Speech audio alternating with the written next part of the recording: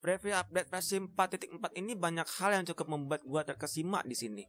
Selain gue salvok terhadap momen Eder dan Lumi makan berduaan, Hoyofas beneran rilis 3 skin baru di patch 4.4 nanti. Dari info previewnya bakal ada skin Freezing Q yang konsep atau desainnya mirip kayak outfit Furina, elegan dan cool. Akan muncul juga dua skin waifu baru yang bisa bikin dompet gue terbang di sini, yaitu ada skin Ganyu dan Senhe setelah gua lihat skin ini, Gil cantik, badas juga.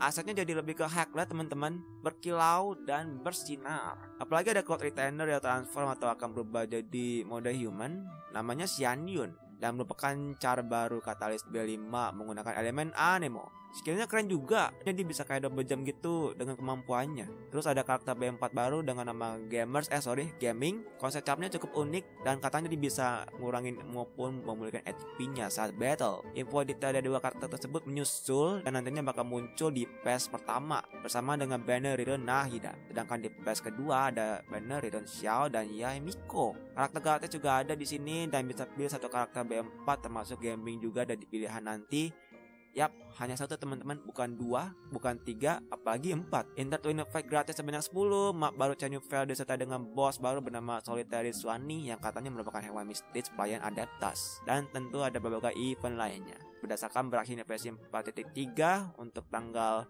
update versi ke 4.4 jatuh pada 31 Januari 2024. Untuk fitur perunduhnya kira-kira H-4 atau H-3 menjelang update. Jadi jangan lupa siapkan perimogan kalian di menu 4.4 nanti teman-teman. Dan kalau kalian tanya gue gacha atau enggak, sebenarnya